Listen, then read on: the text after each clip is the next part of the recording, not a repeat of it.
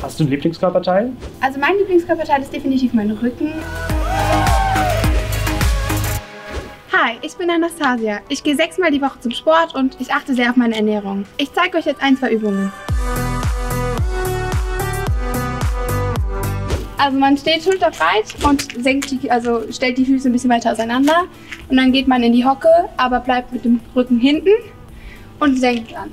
Und dann geht man hoch. Und dann immer ganz langsam, bis man es merkt und dann wieder hoch. Warum ist der Sport wichtig? Es hilft mir einfach im täglichen Leben. Es, ist, es macht dich fitter, man hat mehr Energie und wenn man mal wieder zu viel hat, dann kann man sich einfach auspowern.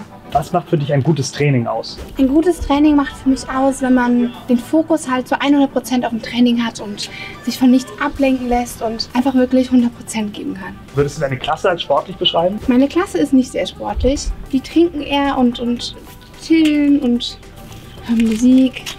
Aber das ist nicht so meins. Machst du Sport auch, um attraktiver auf Jungs zu wirken? Nein, definitiv nicht. Einfach nur für mich, für mein Wohlbefinden. Hast du dich schon mal beim Sport verletzt?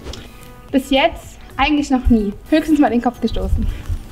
Hast du ein Lieblingskörperteil? Also mein Lieblingskörperteil ist definitiv mein Rücken, weil es einfach, man merkt die Stärke und man merkt auch beim Training halt eher. Und der Muskelkater ist auch vom Gefühl her besser da oben. Danke, dass ihr mir bei meinen Sportübungen zugeguckt habt. Äh, ihr könnt natürlich jeden Tag bei unserer Klassenfahrt dabei sein, also schaltet morgen wieder ein. Tschüss!